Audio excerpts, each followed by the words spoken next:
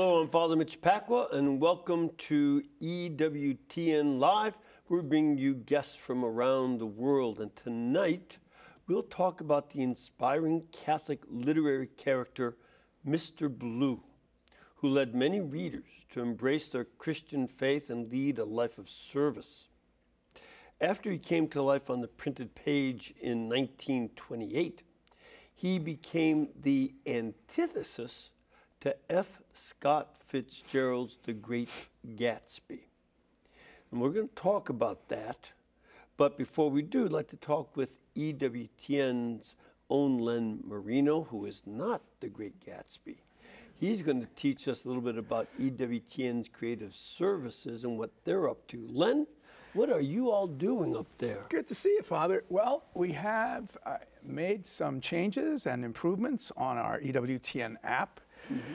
And uh, we're going to, you know, kind of go through some stuff. But our EWTN app, you can uh, watch live stream. You can watch on demand. You can see all of our news programs. There's even a portion, uh, there's even a part of the app where you can read the Bible. You can even get an audio Bible. And it's pretty darn complete. And like I said, and the ad says it's more than just a new coat of paint. So why don't we roll it and some folks will, you know, find out more about it. The best Catholic app just got better. And it's more than just a new coat of paint. The new EWTN app lets you watch, rent, or purchase programs through our expanded on-demand library, which includes hundreds of free titles, and stream any EWTN channel while on the go including one devoted to live Eucharistic adoration. You can also read the latest Catholic news right at your fingertips, or delve into the in-app Bible with new updated reading and navigation tools. It's all in one place, one app, EWTN. Download for free today.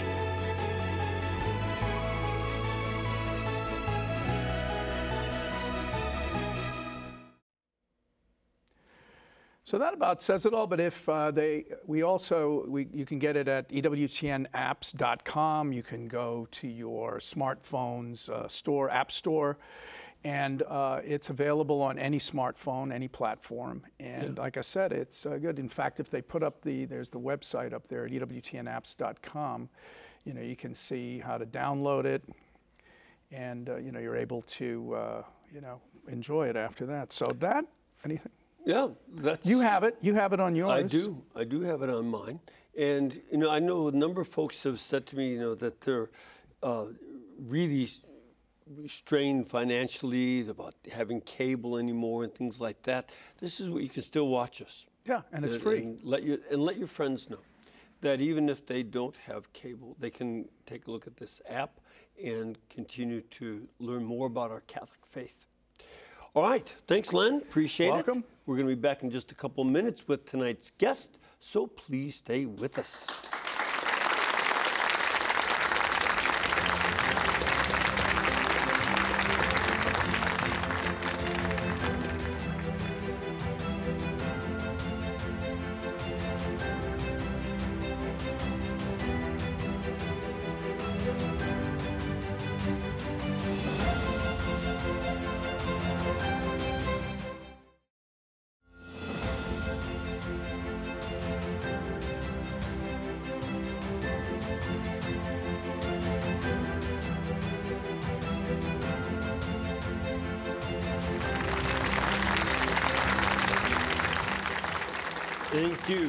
You and welcome back. We have a guest tonight who is here to shed new light on a remarkable Catholic writer and filmmaker named Myles Connolly. He wrote a novel in 1928 called Mr. Blue. It was a retelling of the story of St. Francis of Assisi, except instead of Italy, it was set in New York and Boston in the roaring 20s and it framed the practice of the Catholic faith not as a chore or duty, but a joyful challenge and a bold adventure. Then Myles Connolly moved to Hollywood, where he wrote and produced over 40 films, weaving Catholic virtues into several of his screenplays with help of legendary director Frank Capra. Here to tell us more about the life and work of Myles Connolly, please welcome from Benedictine College in Atchison, Kansas, Dr. Stephen Mirarchi. Dr. Hey, Stephen, Father. Good to to have you. Thank welcome, you. welcome, welcome. Thank you. And you know, uh, something we talked about when you came in yesterday.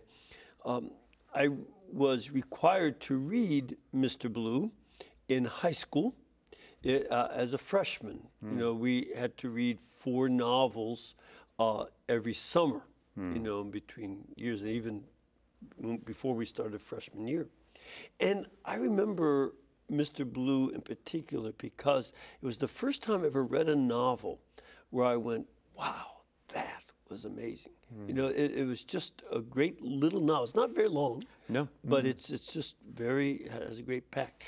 Tell us more about Myles Connolly, the author, before we get into the novel Mr. Blue. Yeah, sure. So, it, for a long time, the novel was required reading in colleges and high schools. Yeah. Now, that was sometime around the late 1940s, early 1950s. Uh, 1960s too now. Sure, yeah. it got in there. Don't want to make you Just too old so there, nobody Father. gets carried away with my old age.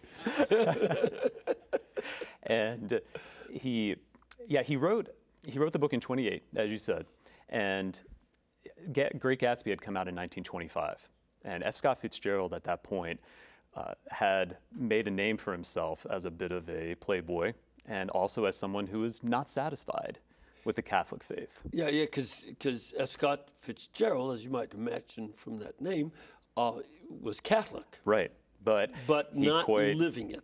No, and even more so, he was actively critiquing it. So there's a, a short story of his, for instance, in which he replicates the Latin of the Mass and even of the words of confession of the time, but has his character reject it and reject the offer of mercy. And this caused a bit of scandal, as you can imagine. Sure. Uh, and Connolly loved to read. He was a very avid reader. In fact, one of someone who did some research into Connolly said that maybe his love of books was the only thing that competed with his love of his wife. So this is how much he loved reading. Yeah. Uh, and so John Breslin, the Jesuit, was the first person in essay form to say, "I think Mr. Blue is a response to Gatsby," and he provided some evidence in this regard as to why. And I picked up on that and provided some more evidence when I started putting together the, the mm-hmm. annotated edition in this sense. Because you know, so folks understand wh- what is the theme of the Great Gatsby. Sure. Right. So a lot of people see it as his frustration with the downfall of the American dream. A lot of people see it as why this, this Gatsby character seems to be stuck in the past. This is why he's a bit blue at the beginning of the book. He seems to be obsessed with a past love. And he tries to make it happen again, but he can only make it happen again through adultery. And so he gets, uh, and even in the Fitzgerald crafts the novel so that in one of the in chapter seven, where the climax of the novel is happening, there is quite literally a wedding happening in the hotel below them, while this adulterous relationship is about to explode above them. Okay, so you have the white. Remember, I said the blue, we have the white. Mm-hmm. And then at the end, when it all falls apart, because that's what happens when you try to relive the past, mm-hmm. we have Gatsby literally floating in a pool, and Fitzgerald shows the trail of blood going into the drain. Mm-hmm. And this is what some people interpret as also Fitzgerald's view of Catholicism. Catholicism is dead in the water. It is no longer meaningful to us past World War I, past in our current condition. It's it's interesting, um, you know, that uh, he would write after the war because uh, this is also a phenomenon. After the the first and after the second world wars, there was this real disillusionment with humanity Yes. and people were expressing that in various ways, and I think that that's a key part of Fitzgerald. That's right. People just didn't know how to pull their world world back or hold it together after something so catastrophic uh, had occurred. We, quite, we see this quite literally in Eliot's great poem, The Wasteland, where you have uh, some scholars describe that as an exploded library. There are so many literary references and allusions going on there, but they're just scattered throughout the poem as if all of humanity's knowledge and wisdom has been exploded Yes. in this sense. You know, Yes. Eliot went on to do very different things after that, as you know. Right. But so the idea here is that Connolly read that and said, "Oh no, you don't, Fitzgerald." Connolly said, "Uh-uh," and Connolly was uh, a very uh, devout Catholic. He was a daily mass goer. He loved his faith. Uh, his graduating class, he was salutatorian of his class at Boston College. Uh, but even being number two salutatorian, his graduating class said of him, "No, he is a debater without peer." you're not going to win an argument with Connolly, even at a place that was at that point quite famous for its Catholic identity. Yes. So, uh, so he crafts. Remember, I said the kind of red, white, and blue of the structure of Gatsby, and, and actually Fitzgerald re- wanted to name the novel under the red, white, and blue at the last minute, but his publisher wisely said no. So Great Gatsby fits a little better, right? But so Connolly also structures the book in a blue, white, and red fashion, except now it's not blue because I'm sad of something I lost. It's blue because I'm living my vocation, but there's something more that God wants me to do. White, when he becomes fully uh, like a white martyrdom, like we like is spoken about in the church, I'm living my vocation fully. I'm giving myself in, to love of God and love of neighbor. And maybe you might have the red. And for those who haven't read it, I'll um, not spoil that point. Right. But in other words, what Connolly saw as Fitzgerald doing, saying, blue, white, and red, see, the American dream is dead. We need something new. Connolly saying, the American dream's not dead. What we need is a revolution of the spirit. See, this is, I think, uh, an extremely important perspective for us to discuss in these days. I'm, you know, just today on radio, people, uh, I, you know, had an email from uh, a, woman who's from Uvalde, Texas, dealing with all that. Another man whose son died of um, drug overdose, and you know, a number of other problems that people were talking about. And the temptation is going to be uh, in a few directions. One, the world must be is so bad, Lord, just bring it to an end. Bring the second coming. I give up. I, I want out of here. Other people say, I want out of here. That's why I'm using drugs. Mm. That's why I'm depressed. Mm. And other people are, are who return to the core of their faith are going to do like Connolly. We have to have a spiritual revolution, and it's our spirituality that makes the change, our commitment to Christ, our faith in Him. Yes. This is, these are some of the options we have, and I fear too many Catholics are getting disheartened instead of hmm. saying, there are huge problems, let's hunker down and take them on. Yeah, and that's exactly what Connolly has his characters do. And I would say in a distinctly American way as well, which is what's so enticing about Connolly's books. So, for instance, in Mr. Blue, one of the pivotal scenes in which the title character, Blue, begins to take on more of his vocation to get to that white stage, as we might say, where he's living a white martyrdom. So Connolly has them walk from a, a particular place in Boston near the old Oyster House, almost a, which is one of the oldest places in the establishment of the area. And he has them walk past Faneuil Hall and the old, uh, the old uh, courthouse. In other words, all these places where wonderful things in the American Revolution happened, the reading of the Declaration of Independence. Mm-hmm. And when he gets to the end, he and the narrator get to the end of their walk, Blue hands him a St. John Vianney prayer card that says, The cross is the gift that God gives to his friends. And at that mm-hmm. point, he takes up his cross. So Connolly, in a very literary and aesthetic way, says, Look at their walk that they're taking. The walk that they're taking is they're redoing the American Revolution. What is the spirit of the American Revolution? It is to take up that great cross and bear it well. Mm-hmm. And this is something that Connolly is going to emphasize in all his books that he and Connolly would say that only Christianity can really offer you the substantial truth of redemptive suffering. Mm-hmm. Oh, that, and it, it was no accident that the uh, first Great Awakening, a major religious revival, mm-hmm. had preceded the American Revolution by a few years, mm-hmm. and people were reinvigorated in their Christian faith in that revival. Mm-hmm. And that helped to guide where they were going in the revolution, as opposed to the French Revolution, mm. which was atheistic and became viciously violent against citizens. Right. I have a quote from um, Mary Connolly Briner. Yeah. Uh, uh, she is the daughter of Myles Connolly. Yes. Uh, in fact, she had asked me some time ago to do a program on this, and that's we're glad to have you. Yay. But uh, Connolly's daughter Mary had said, and a quote, Mr. Blue worried back in the 1920s about how young people would keep their faith in an imagined time, a century into the future, when the world might be indifferent to faith and beset with religious intolerance. Now, we're living in the, that century later, We are. And we're seeing that. We are. You know, um, religious conversation is forbidden by the Supreme Court. You, Supreme Court doesn't allow the Ten Commandments to even be displayed, yet alone taught. And uh, the Supreme Court also took prayer and scripture reading and moments of silence out of schools in 1962.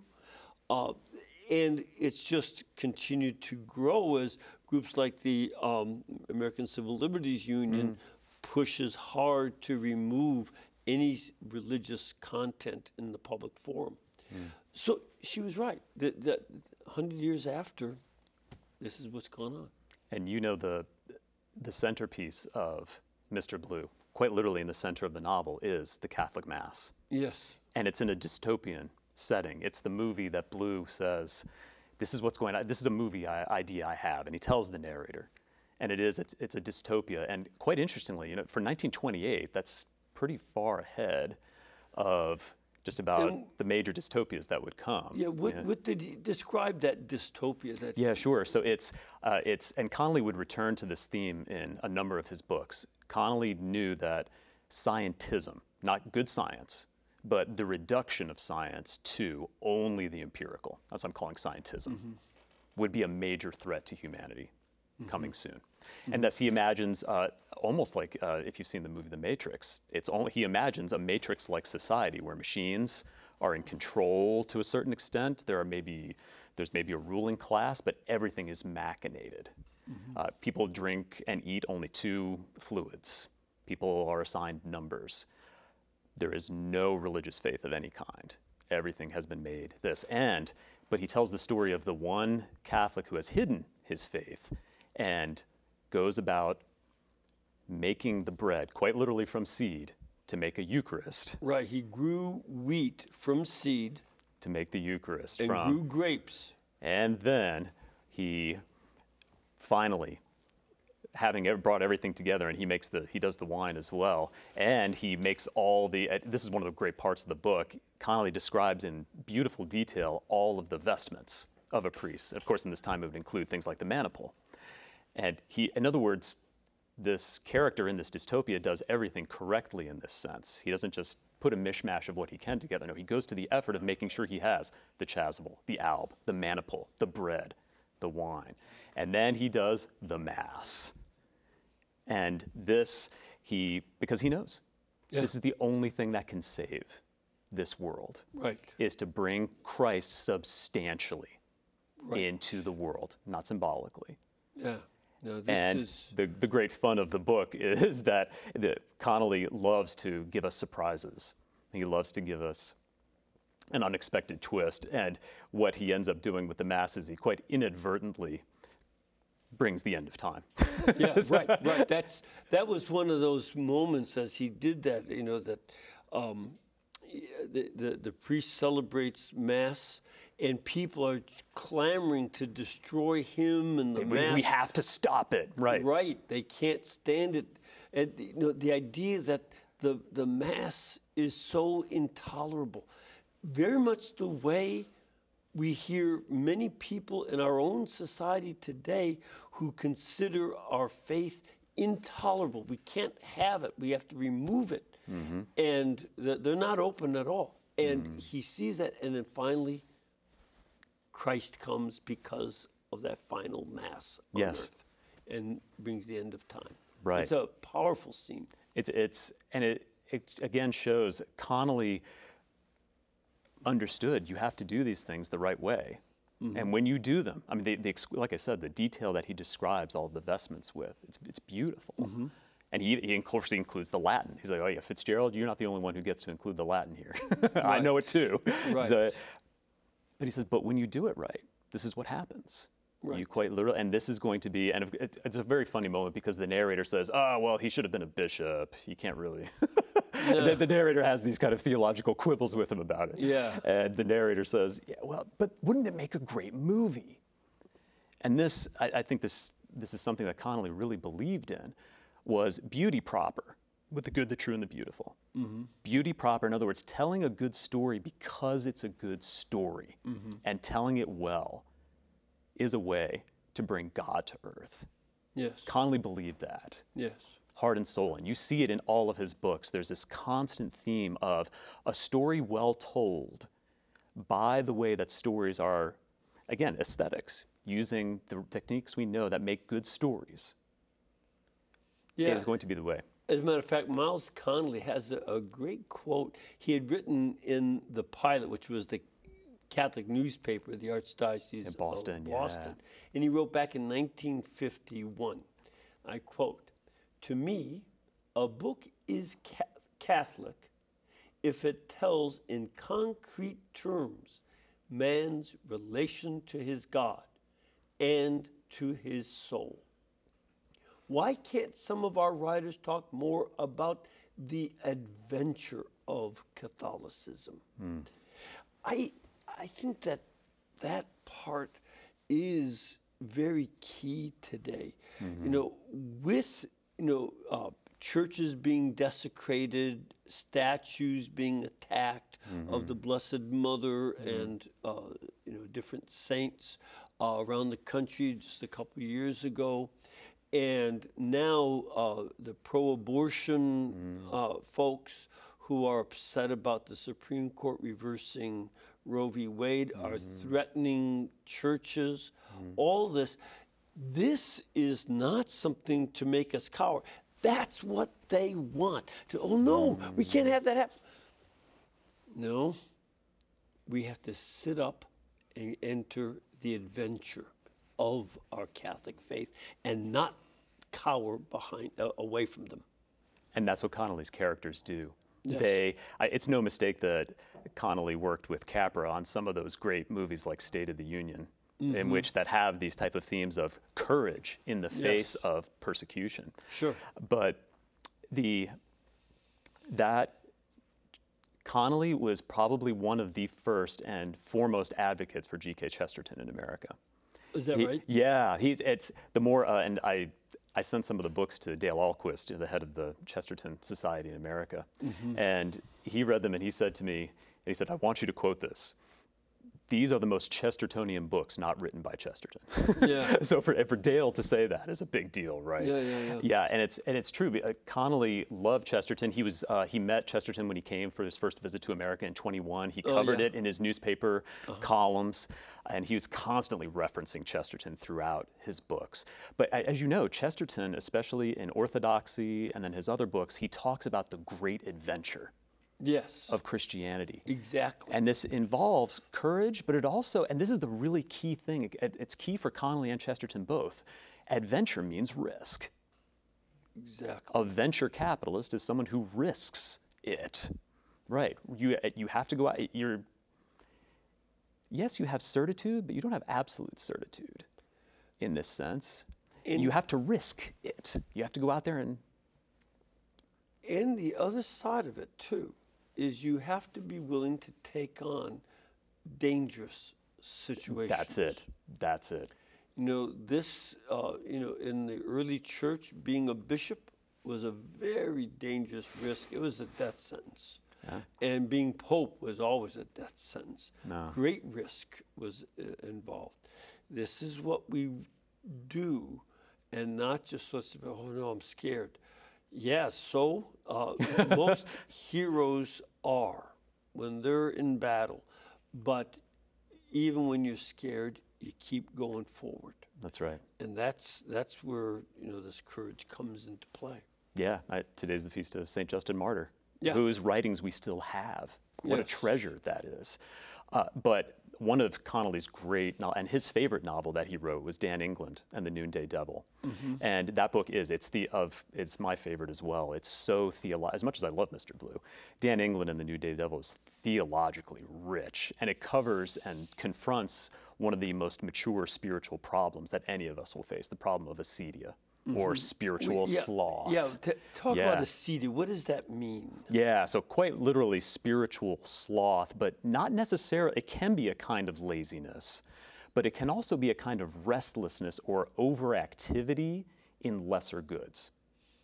In other words, you know, some, some people think of Christianity as, well, I'm just going to be struggling against temptations my whole life. As long as I avoid temptations and do good, then that's the adventure. And I thought, no, that's not quite it.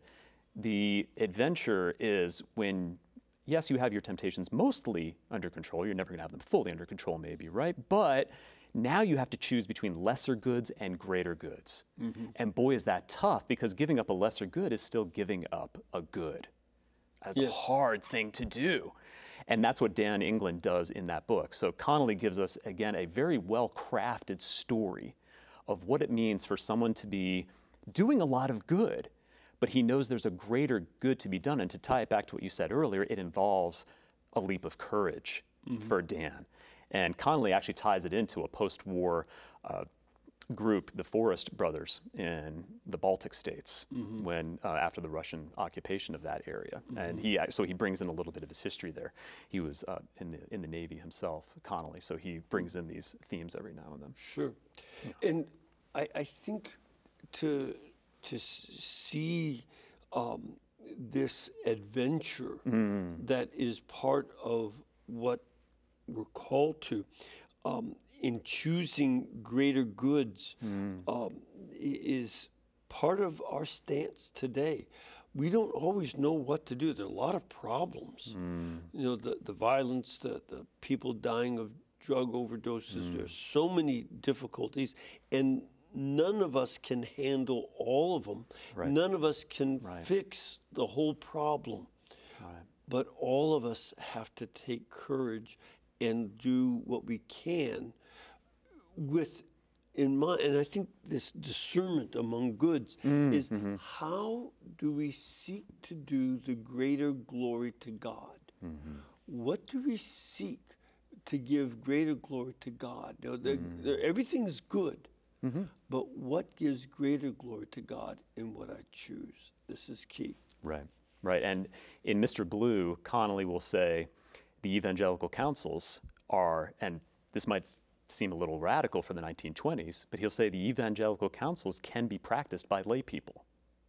In other words, mm-hmm. taking up poverty, chastity, obedience. And the, the layman, Blue, makes a vow to Lady Poverty, quite like St. Francis of Assisi did, but he does it as a layman. And he eventually comes to give everything, and he goes to live with the poorest of the poor in Boston by becoming poor himself. Does that sound like Mother Teresa? Does that sound like Katharine Drexel? Does that sound like okay? Francis of Assisi. of course, but then, but then he's a lay person. He's a layman doing these things, and uh, I've just I, most, I recently heard from a Catholic worker named James Murphy, who is doing a documentary on Peter Maurin, and he said I've I found something that I think you should know. He said I we know that Peter Maurin read Mr. Blue. That is, I, I'd always suspected, but I'd, I'd never had proof, evidentiary proof. He said, second, Peter Maurin sent a letter to Myles Connolly saying, I, could you, since you have such great journalistic background and you clearly understand the faith very well, would you be interested in helping with this little newspaper I'm starting. this has become one of the most famous newspapers in the history of the faith. The, ca- the, the, the penny newspaper that people joked about. It was carried on, hor- uh, on the back of a horse cart past St. Patrick's Cathedral, and the horse genuflected. I mean, that's a very famous story about that paper. The- but Myles Connolly might have been the person working on that paper, but for whatever reason, it didn't come to fruition, and someone named Dorothy Day ended up helping on the paper instead, and as you know, was brought to now she's servant of God as a result. But so that Catholic worker movement that again has this mission of saying, yes, you can serve the poorest of the poor as a layman, a laywoman, a layperson. Mm-hmm. You can do that mm-hmm. and come to great holiness in your state of life. And even if you don't do exactly that, say you have a sure. family, Yeah. there are a variety of ways that families need to live chastity and obedience and poverty. po- yes. Um, all these virtues are, you know, that fit one's family um, and family life. This is something all of us can can work on. Absolutely, We have, yeah. we have to take a little break. Sure. But we're going to be back. We want to get some of your questions and comments, so please stay with us.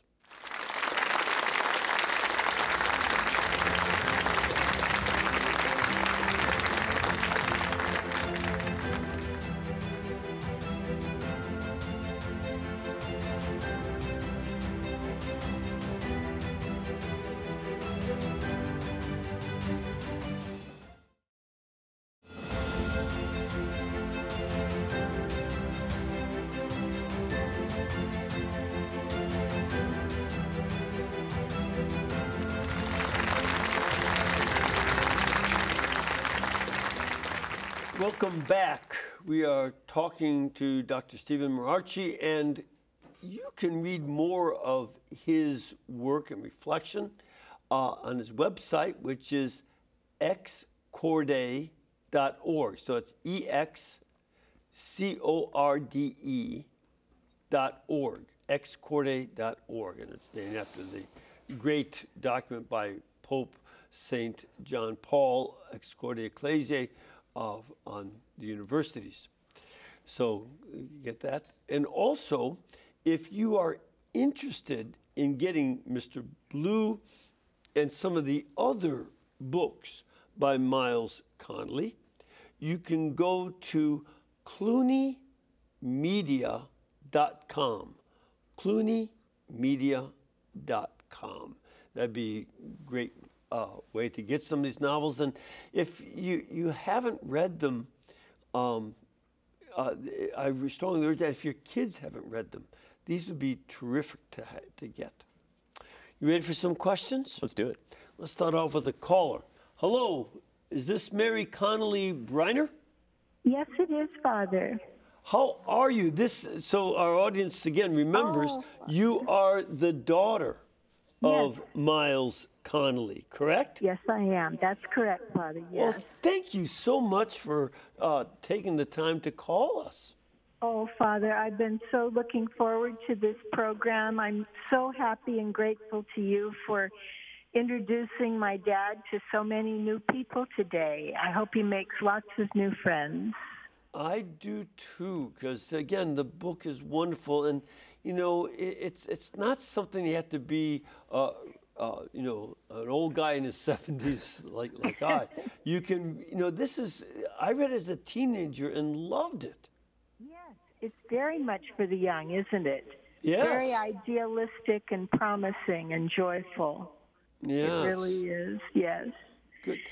And I, I wanted to thank Dr. Mirarchi also, Father, for his wonderful research and his affection and his wisdom for all the characters that he annotated and, and worked on and wrote about. Mm-hmm. So thank you very much.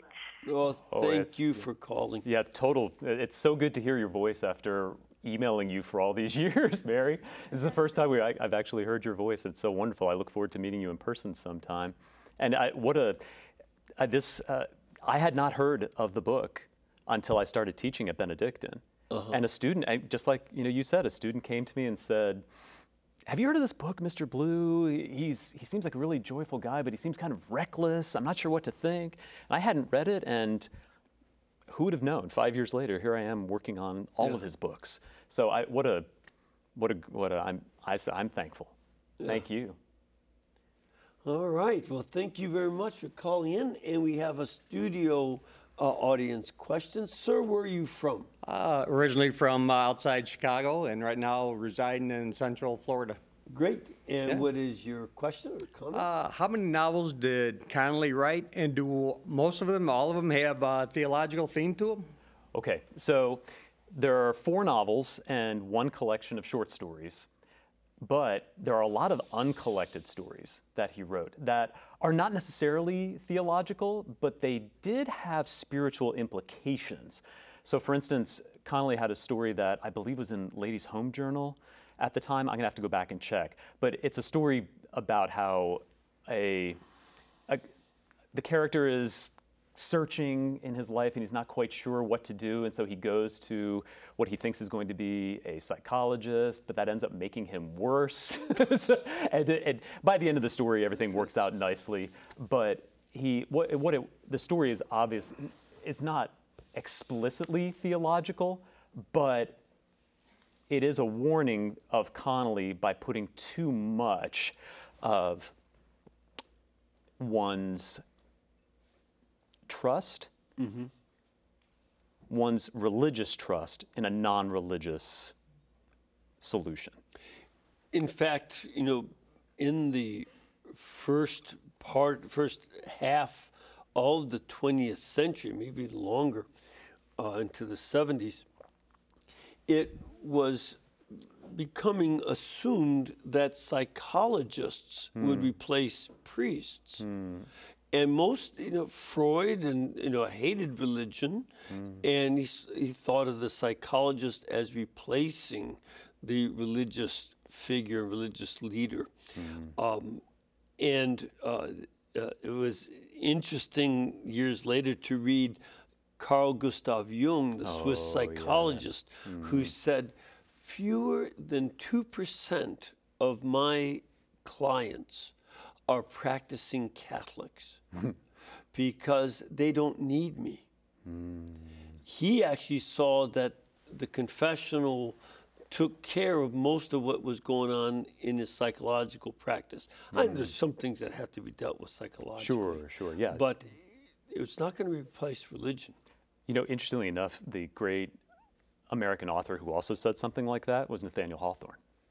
When he took a trip to to Rome near the end of his life, he saw the confessionals at St. Peter's in and the priests offering confession in how many different languages, Sure, right? Yeah, right. at least 15, 20, maybe even Right. 30 languages. And he remarked at that time, Nathaniel Hawthorne, he said, I really wish I could believe this because this seems to me to solve one of humanity's biggest problems Right. the need to expiate guilt.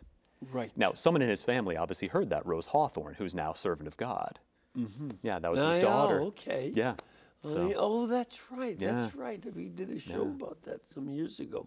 Uh, One of the things that I use, I, I mentioned this to Dr. Ray Guarendi. Oh, who- yeah, he's great. Yeah, he is. And we would, I told him that my view of psychologists is that they're like a good hunting dog, good bird dog. That you put a bird dog out in the field, and he goes sniffing around for the birds and he's really good at finding what the, the hunter can't because we don't know how to mm. find certain things. And psychologists really do a good job of finding certain things. And then when he comes up on a bird, he becomes absolutely still, just points. Mm. And then when the hunter's ready, he flushes them and shoots them down. And I think of that as a, a good way to understand the relationship with Christ. The psychologist can find these problems, but it takes Christ to flush them out and shoot them, so to speak. By analogy, don't worry, we're not shooting anybody. no, this Um, to to just uh, build on that and what the um, the person was asking the question. There's one of Connolly's short stories is actually very good in this regard. You know, in the 1950s, people like Flannery O'Connor were becoming quite popular. This is a whole new kind of religious storytelling. Yes. It was wow, uh, okay, I'm. one of the best parts of her letters is when she says she's getting ready to write the story Greenleaf, and she says, "I've got, I've got this woman with these bull's horns in her guts. That's the story. Now I have to figure out the rest of the story. That's what she started with. Yes. The moment of violent grace, right? So Connolly actually tried his hand at that kind of story. And I think did a very good job of it. In fact, it's one of my favorite stories of his. It's called The Pigeon from St. Bartholomew's. And it's mm-hmm. quite, it's very much about this kind of let's hunt out what the problem is. Mm-hmm. And he traces this character who is the opposite of Mr. Blue in almost every way mm-hmm. This and what he flushes out is that this character believes only in abstract symbols. He does not believe in reality. So connolly's solution is to bring him to the eucharist the, to the, the substantial the reality of realities. Mm-hmm.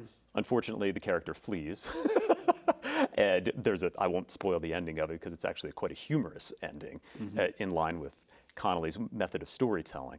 But it, again it's connolly was able to use different types of storytelling to get across that fundamental truth as he said with a dose of humor. Now, one of the ways in which Connolly does this is not only in novels, but in his Hollywood work. uh, yeah definitely. And what's his most famous movie that he yeah, worked right. with Frank so Capra? uh, probably the one he's uncredited for, sadly, to this day, is he wrote several scenes from "It's a Wonderful Life." Yeah, Everybody he wrote several of the scenes in that movie, and sadly, he was uncredited at the time. Uh, I, uh, Frank Capra went to Connolly's funeral, and uh, one of the members of the family, Christopher Connolly, had told me that he's seen a legal deposition in which Capra said, Connolly helped me on everything. Which, again, coming from Capra is a big admission. If you've read Capra's autobiography, you know how larger than life Capra was, and he knew he was larger than life. But that's his, that's his uh, Persona. yeah, yeah, right. yeah. Uh, but so for Capra to say this man helped me with everything, especially when they had such a kind of love, um, not so love relationship at times. There. But but you see in you know uh, a story like uh, uh, this that there are um, you know this trying to do the right thing and struggling against Mm-hmm. you know being heroic against the forces that would destroy and looking at the possibilities of what could happen with me or without me. Right, This right. is you know uh, part of that uh, imaginative sense. yes. And he also helped with another one of Capra's great movies, Mr. Smith Goes to Washington. Yes. Right. Same kind of thing. State of going the Union, up against, yeah. you know, the this the, the what we call today the Washington swamp, you know, and you know just dealing with that. uh, That the, this these kind of themes show up in the movies They do. Connolly worked on. Yeah, and the the movie that he worked on that got the most Academy Award nominations, not one for him, sadly. He did get an Academy Award nomination for Music for Millions. That movie. Okay. Uh, that he, I, he, I believe he wrote the story. Uh, it might be the screenplay. Let me let me check. But it was he got the a nomination on that. But the the movie that he worked on that got the most um, nominations was his. Uh, treatment of Hans Christian Andersen, that movie that came out in '52, if I remember correctly. okay. And but again, it's not just Hans Christian Andersen, the the the myth or fable teller. It is the person who truly pulled from that reservoir of divine love in creating these stories, and that's what Connolly uh, emphasizes Yes. in that film. And we do know a lot of Hans Christian Andersen's tales have this deep spiritual element to them. The Traveling Companion, for instance, that one is not one that you hear too much about, but that one presents burying the dead as a corporal work of mercy. And Andersen himself was a Lutheran, Yeah. uh, which is again what a what a beautiful idea to be telling in a, in a fairy tale. And but again, this is what Connolly emphasizes. And and he, I'm sure that he was attracted to Hans Christian Andersen as a subject because it's something what he was doing Right. with his writing as well. Yeah, no, that's true. He the uh, the last book that he wrote is actually three novellas, And they're about three very different people. One, a priest who is pursuing perfection in the Carmelite tradition. His sister, by the way, was a Carmelite. A, and she was in the Carmel, the monastery up in Concord, New Hampshire, which quite sadly closed down two years ago. Mm. But he would go and visit her every year without fail. Yeah, and so he was very attracted to the Carmelite spirituality for this reason. So yeah, and anyway, in Three Who Ventured, you have these three no, uh, novellas. One about a priest pursuing perfection in a Carmelite way. One, a husband. We were talking about the married vocation. The husband who has many children. It's wonderful, and deals with a horrible tragedy, and he has to. How do I deal with this horrible tragedy? Sure. And then finally, a kind of Graham Greene, Evelyn Waugh kind of story in which we get into the mind of a murderer who decides to repent. Mm-hmm. And it, it, is very much of that. Can he repent? What does repentance mean for someone like this? Mm-hmm. And he wanted to- originally to call the book uh, The Mansions, as a reference to in my father's house there are many mansions. Mm-hmm. In other words, there are mansions for each of these people. Sure. But he ended up calling it Three Who Ventured. We were talking about adventure, Right. right? In other words, all three of them end up taking risks. One seeking perfection, one seeking, uh, again, that vocation through redemptive suffering in the family, and the final one taking a risk on God's mercy. So th- those are themes that he very much valued. W- And it's called the book is called again. That's Three Who Ventured. Three Who Ventured. Ventured. Yeah, that was his that's- last book, and quite sadly, it's uh, the least well known of his, but it contains some of his most mature writing. Mm-hmm. Yeah. To look for that. We have another caller online. Hmm. Jim, Yes. Hi. Mitch. How are you? fine. Where are you calling from? I'm calling from Ojai, California, and uh, I was on the uh, Israel trip that you took in 2015. Oh, great. Oh, good. Well, it's nice to hear from you again then. Yeah. So, what can we do for you this fine day? Uh, well, I was calling for uh, Steve to please expound on his motivation for reintroducing Myles Connolly and Truth, Beauty, and Goodness to the world. He told us that a student brought him the book, and Yeah. I would like to know a little bit more about the process of thinking that got him to launch this wonderful series of books. Hmm. Yeah, Sure. yeah. So Yeah, why, so- why'd, you, why did this capture you and what, what motivated you? Sure. Okay, so did you ever have that experience? It's a rare one. Maybe it's not so rare for more intelligent people like you, Father, but for me it is. but when you, you read a book and on almost every other page you say, I know what he means. Mm-hmm. In other words, you find yourself underlining, you find yourself bracketing, mm-hmm. you find yourself making notes, and by the end of the book you say, wow, I feel like I really got this one. Mm-hmm. It's a that's how I felt after reading Mr. Blue. That's, and I said, I really think I, I, I think, I, and again, that's because I'd been reading a lot of Chesterton, I think. At the time, I didn't know that Connolly was so into Chesterton, but I'd been reading a lot of Chesterton, so I was immediately attracted to that Chestertonian quality. So then I decided to start teaching it in my classes as, again, this is a momentous uh, publication in, in uh, I would say, in American literature, especially because it's one of the first great Catholic best-selling books that is respectful of the Catholic faith, right? But then it, it went out of print again. Um, Amy Welborn had done a fantastic job with the Loyola Classics series. Yes. Uh, but then uh, they, um, they stopped producing those. Not too much later, maybe I forget how many months later, I heard of Cluny. And Cluny said, Hey, if you are someone who is interested in bringing books, good Catholic books that have either gone out of print or in danger of going out of print, contact us. And I said, Hey, could we do Mr. Blue? And they said, Well, yeah, we'll have to contact the family and see what the deal is with that.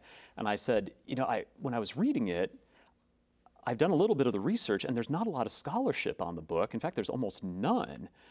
I'm thinking there's a lot to say about this book from a scholarly point of view because Connolly weaves all kinds of theological, spiritual, historical, regional details into this book that make it something more than a devotional book. I think this is actually a work of literature.